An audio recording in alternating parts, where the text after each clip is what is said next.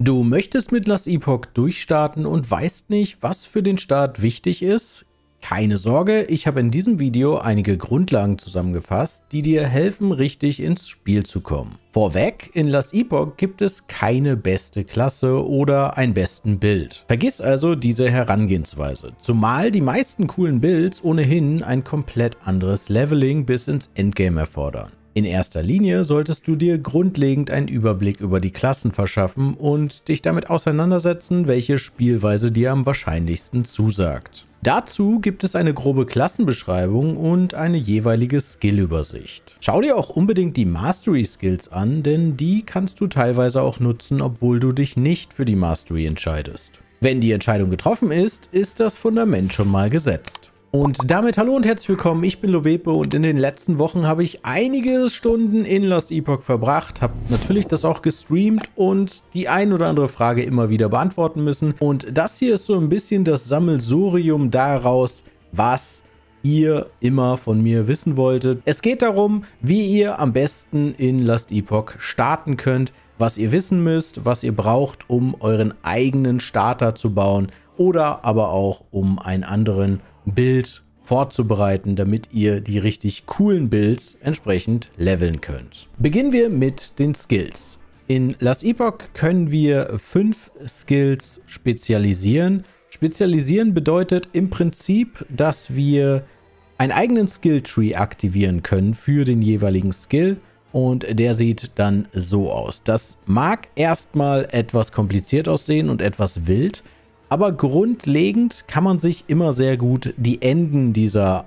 einzelnen Pfade hier anschauen und sieht dann meistens, in welche Richtung das geht. Hier an dem Beispiel sorgen wir dafür, dass wir Knochenrüstung bekommen, dann auf uns wirkt und praktisch einen Vorteil für uns bietet. Hier sehen wir zum Beispiel, dass wir die Skelette um Nahkämpfer reduzieren, beziehungsweise ja, es verbieten, dass Nahkämpfer als Skelette spawnen können und dafür wir entsprechend mehr Bogenschützen bekommen. Oder man schaut in diese Richtung und sieht hier, dass wir irgendwas bekommen, wenn Skelette sterben, wie hier zum Beispiel Ward oder hier erhöhter Zauberschaden oder hier Mana. Gucken wir uns jetzt mal einen anderen Skill an, dann sieht man da noch andere Sachen, die vielleicht auch noch ein bisschen eingängiger sind, wie hier zum Beispiel beim Golem. In der Richtung sehen wir alles mit Feuer. Hier unten haben wir was mit äh, Poison. Dann haben wir hier was mit generell mehr Splittern, also mit mehr Clear Speed bzw. mehr Damage, mehr Projektilen und so weiter. Und im Prinzip ist jeder dieser Skilltrees so aufgebaut, dass die einzelnen Enden zu einem Thema gehören und wir entsprechend den Skill in eine bestimmte Richtung entwickeln können. Das kann eine Schadenskonvertierung sein, also zu Feuerschaden, zu Kälteschaden, zu Blitzschaden. Das kann aber auch einfach generell mehr Critical Damage sein oder mehr Projektile, mehr Clear Speed. Kann aber auch ein Trigger sein, dass dieser Skill, wenn wir ihn betätigen, automatisch einen anderen Skill, den wir spezialisiert haben, triggert und auslöst. Da gibt es viele, viele verschiedene Varianten. Man muss sich da ein bisschen mit beschäftigen und wird sicherlich das ein oder andere auch erst später sehen. Aber da ist das System halt wirklich auch sehr, sehr gut gemacht, denn wir können jederzeit über neu verteilen hier die Skills zurücksetzen und können dann neue Punkte vergeben. Dabei verlieren wir einiges unserer Erfahrung für den Skill und wir fallen zurück auf die minimale Stufe, was in meinem Fall jetzt gerade 9 wäre. Das heißt, wir haben nur noch 9 Punkte zu vergeben, anstatt wie jetzt 19. Das ist natürlich ein kleiner Rückschritt, aber man muss auch ganz ehrlich sagen, normalerweise dauert es gerade im Endgame so ungefähr 5, maximal 10 Minuten, bis man wieder auf dem alten Stand von 19 ist. Deswegen ist das meistens nicht so ganz kritisch. Wenn wir jetzt nochmal auf diese Übersicht hier gehen, dann sieht man viele verschiedene Skills. Einige davon sind ausgegraut, wenn man natürlich Low-Level ist, also gerade anfängt, dann sind noch viel mehr ausgegraut. Das liegt im Wesentlichen daran, dass wir die über unseren passiven Tree freischalten müssen. Und das ist relativ wichtig, denn wenn wir uns jetzt den passiven Skill Tree von dem Akolyten angucken, dann sehen wir, dass wir hier unten verschiedenste Skill haben. Immer wenn wir diesen Balken hier in bewegen, also genug Skillpunkte hier drin haben, damit der Balken hier ist, dann bekommen wir diesen Skill freigeschaltet. Also, wir müssen Punkte in den Tree investieren, damit wir diese Skills hier freischalten. Das funktioniert auch, wenn wir Skills benutzen wollen, die nicht zu unserer Mastery gehören. Denn wir müssen uns im Laufe der Story so ungefähr mit Level 15, 20, manchmal auch ein bisschen später, kommt so ein bisschen darauf an, wie viele Monster wir erledigen, aber so in diesem Bereich müssen wir uns für eine Mastery entscheiden. In meinem Fall des Akolyten wäre das jetzt Nekromantin, Lich oder Hexenmeister. Die Hexenmeisterin, die ist jetzt aktuell noch nicht verfügbar, ist dann aber in der 1.0-Version verfügbar. Und wir haben uns jetzt für die Nekromantin entschieden, deswegen können wir beim Lich aber trotzdem Skills freischalten und auch Skills skillen. Also wir können hier trotzdem den Tree benutzen und zwar immer bis zu der Kette. Das hier ist die Grenze, die wir nutzen können. Das heißt, wir können nicht zum Todessiegel kommen und wir können auch nicht die Schnittergestalt lernen, weil das die Meisterschaftsfertigkeit ist. So wie beim Nekromanten hier die Gespenster beschwören, die Meisterschaftsfähigkeit ist. Und hier sind die Fähigkeiten, die wir freischalten, wenn wir hier Punkte investieren. Übrigens, nur weil wir Skills hier spezialisieren, heißt das nicht, dass wir die anderen nicht nutzen können. Wir können trotzdem auch andere Skills, wie zum Beispiel hier äh, äh, flüchtigen Zombie beschwören, könnten wir trotzdem benutzen. Dafür können wir einfach hier draufklicken, können den hier auswählen und nutzen. Wir können ihn halt nur nicht verstärken, beziehungsweise, ja, wir können ihn nicht wirklich individualisieren, weil wir ihn nicht spezialisiert haben. Aber nutzen können wir ihn trotzdem. Ein weiterer wichtiger Punkt ist der Schaden. Denn wenn ihr selber versucht, Skillkombinationen auszuprobieren und zu testen, solltet ihr versuchen, maximal zwei unterschiedliche Schadensarten zu nutzen. Da gibt es auf der Skill-Übersicht eine recht einfache Anzeige, welche Schadensarten hinter welchem Skill verborgen sind. Wenn wir jetzt nämlich mal auf dieser Übersicht diese kleinen Icons hier beachten, sieht man, dass zum Beispiel bei dem Skelett-Beschwören-Skill hier einmal eine Faust ist und ein Feuer. Und das bedeutet praktisch, dass wir aktuell physischen Schaden machen und Feuerschaden. Das Feuersymbol wäre an dieser Stelle nicht ausgefüllt, wenn wir hier nicht die Feuerpfeile geskillt hätten. Deshalb sieht man hier relativ gut, okay, wenn alle meine Skills, die ich gerade verwende, hier nur physischen Schaden verursachen, ist die beste Schadensart, die ich skalieren kann, wahrscheinlich physischer Schaden. Dann geht es darum, zu balancen, wie viel Schaden wir entsprechend machen. Wir sollten versuchen, eine möglichst gute, ausgeglichene Kombination aus Increased, also prozentualem erhöhten Schaden und Flat Damage, also plus 30 äh, physischen Schaden für Minions oder sowas in der Richtung, sollten wir auch haben. Es ist meistens nicht sinnvoll, nur eine dieser Arten, also nur die prozentuale zum Beispiel zu scalen. Manchmal, gerade bei Minions, ist es allerdings hauptsächlich über den Skill möglich, den Flat Damage zu scalen. Wenn wir jetzt aber zusätzlich noch auf einen Skill fahren, dann sehen wir auch diese Tags. Und da sehen wir, dass wir Diener und Intelligenz als Scale Tags haben und zusätzlich Diener Tags, das heißt, wir könnten sowas haben wie erhöhter physischer Schaden für Diener oder erhöhter Feuerschaden für Diener. Das wären so Mods, die wir da benutzen können. Und das können wir praktisch bei jedem Skill machen und können dann schauen, okay, was ist der größte gemeinsame Nenner? In meinem Fall habe ich mich zum Beispiel darauf spezialisiert, Minions mit Feuerschaden zu nutzen. Man sieht das hier, ich benutze hauptsächlich die Gespenster, ich benutze Skelette und ich benutze hier den Knochengolem, den seht ihr jetzt nicht so wirklich, aber ich denke, man sieht zumindest das Icon hier. Man hat hier auch Feuerschaden. Das heißt, meine besten Möglichkeiten für Damage-Skalierung sind aktuell Diener-Schaden, Diener-physischer Schaden und Diener-Feuerschaden. Weil damit würde ich alle diese drei Minions hier vorteilhaft pushen und dafür sorgen, dass sie mehr Schaden verursachen. Bei Minions bzw. Dienern ist das nochmal eine etwas besondere Geschichte, denn da müssen wir tatsächlich auch darauf achten, dass wir immer den Minion physischen Schaden oder den Diener physischen Schaden erhöhen. Denn wenn wir nur den physischen Schaden erhöhen, dann bringt das nur für uns was und würde zum Beispiel auch nur für so einen Skill hier funktionieren. Da muss man ein bisschen darauf achten, dass man auch wirklich die richtige Schadensart skaliert. Deswegen ist das hier nochmal so aufgeführt. Bei den Scale Tags steht nicht physisch, sondern da steht nur Diener und Intelligenz. Und hier würde jetzt bei den Scale Tags physisch stehen als Beispiel. Schaden schön und gut, aber wir müssen uns auch um unsere Defensive kümmern. Und das ist in Last Epoch gerade am Anfang meistens gar nicht so kompliziert. Ihr solltet möglichst darauf achten, Resistenzen zu bekommen. Das ist euer erster Fokus, eure Resistenzen möglichst hoch zu kriegen. Ihr werdet das nicht sofort in den ersten Spielstunden auf 75, also auf das normale Maximum kriegen, aber ihr solltet darauf achten, dass auf euren Ausrüstungsgegenständen immer Resistenz drauf ist und möglichst alles einigermaßen gebalanced ist. Gift ist dabei eher der unwichtigere Faktor während der Kampagne.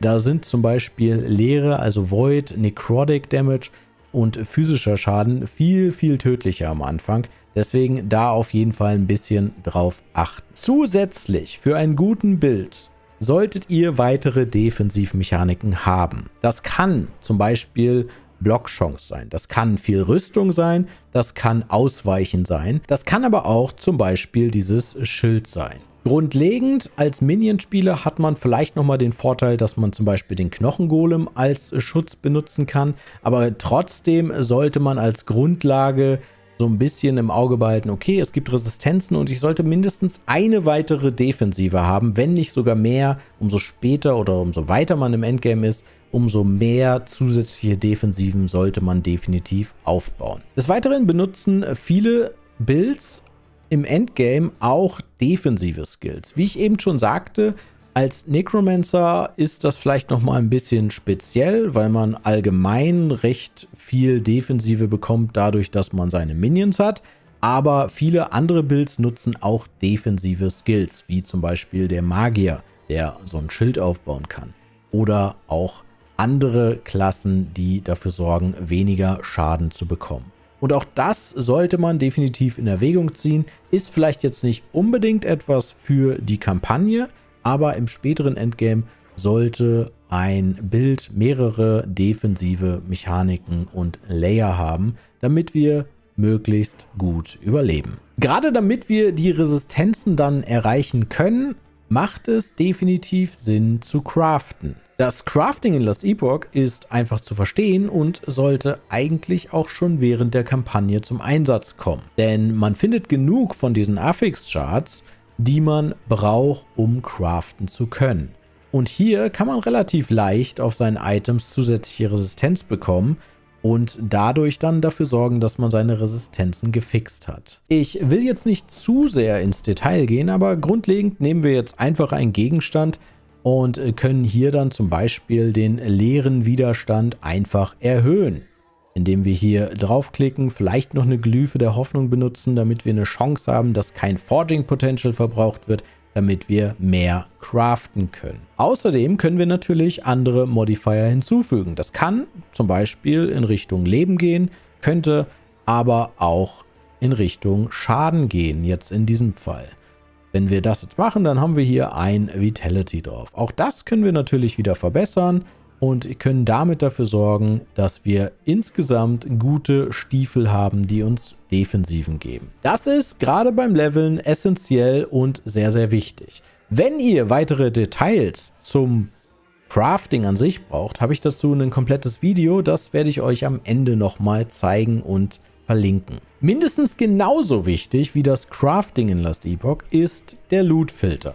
Den können wir mit Shift F drücken und können hier ganz, ganz viele Einstellungen machen nach unseren Bedürfnissen. Ich habe dafür ein Template erstellt. Auch dazu gibt es ein eigenes Video, wo ich die komplette Loot-Filter-Thematik erkläre und euch auch einen Download für dieses Template gebe.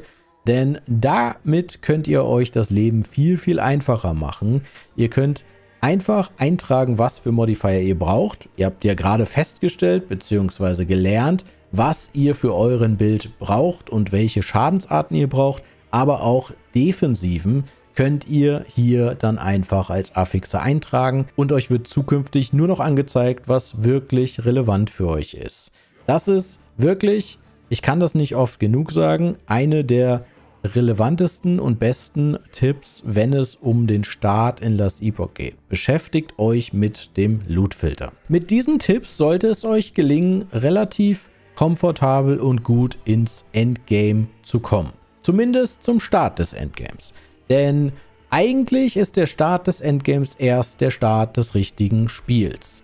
Wenn wir hier ankommen, die Story abgeschlossen haben, beziehungsweise den ersten Teil der Story abgeschlossen haben, also Lagern erledigt haben, dann können wir beruhigt ins Endgame durchstarten und gehen dann theoretisch von Monolith zu Monolith. Was damit gemeint ist, wir starten einen von diesen Monolithen hier, gehen dann hier hin, klicken da drauf und sehen hier dann prinzipiell den Monolithen. Im Prinzip sind das hier alles einzelne Karten, die wir einfach starten können. Wir bekommen vorher angezeigt, was für eine Belohnung wir erhalten. Also hier erhalten wir zum Beispiel Arena-Schlüssel oder hier würden wir zum Beispiel Glyphen zum Craften erhalten.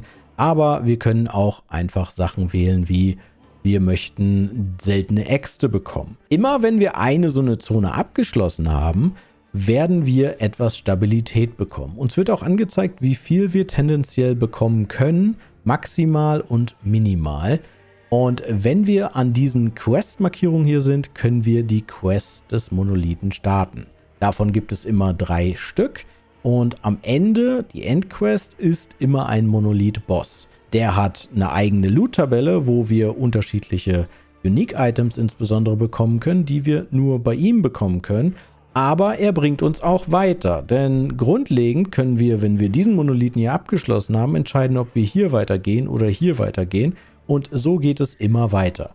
Jeder Monolith an sich hat einen eigenen Boss und bringt uns ein Stück weiter, bis wir hier oben sind. Dann können wir alle unsere Monolithen in einer Empowered-Variante weitermachen. Die ist dann Level 100, also dann kann jeder hier in Level 100 gemacht werden und hat dann auch nochmal extra Loot, gerade bei den Bossen, der nur in der Empowered-Variante droppen kann.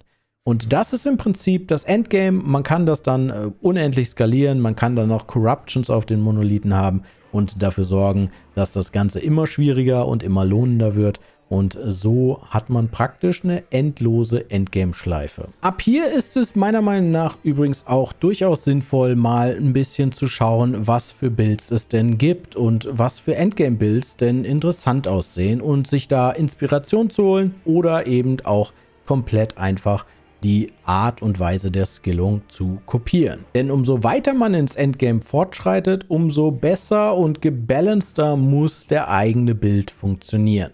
Also es macht Sinn, sich da ein paar Inspirationen zu holen, denn ansonsten müsste man einen Überblick über alle Items und alle Synergieeffekte haben und das wird wahrscheinlich ein bisschen dauern. Aber keine Sorge, jede Klasse und auch jede Mastery hat sehr, sehr gute Optionen, um im Endgame ganz weit zu kommen. Wenn ihr dann einen dieser Builds gefunden habt, die euch sehr gefallen, dann schaut euch mal an, was der Bild benötigt, um dann auch richtig zu funktionieren. Und oft braucht man dann irgendwelche Unique Items.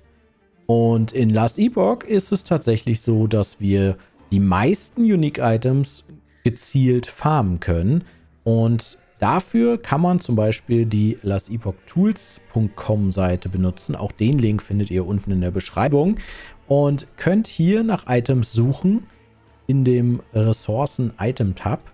Und wenn wir jetzt zum Beispiel uns diesen Stab hier angucken, dann wird uns hier angezeigt, okay, der ist in The Stolen Lands zu finden und kann entsprechend hier droppen. Können dann hier draufklicken, kriegen hier dann nochmal eine Info dazu. Wir sehen hier, okay, es muss ein Empowered Monolith sein und man sieht hier, was für Anforderungen man braucht. Man kann dann einfach in-game schauen, wo Stolen Lands ist und dann kann der Grind beginnen. Und wenn man dann das erste Mal sein Unique-Item für den Wunschbild gefunden hat, droppt dieses vielleicht mit Legendary Potential. Und dann fängt der echte Endgame Grind an, denn dieses Legendary Potential können wir nutzen, um ein eigenes Legendary aus dem Unique-Item zu craften. was die gleichen Eigenschaften wie das Ursprungs-Unique-Item hat, aber zusätzliche Mods unserer Wahl bekommt. Wie das dann geht, erkläre ich in diesem Crafting-Video, aber da geht es natürlich auch um die Grundlagen des Craftings, wie vorher schon angekündigt. Und wenn ihr richtig in Lost Epoch durchstarten wollt, dann braucht ihr, wie gesagt, auch unbedingt die Loot-Filter. Auch das solltet ihr euch dringend angucken. Bis zum nächsten Mal, lasst mir gerne ein Abo da. Ciao.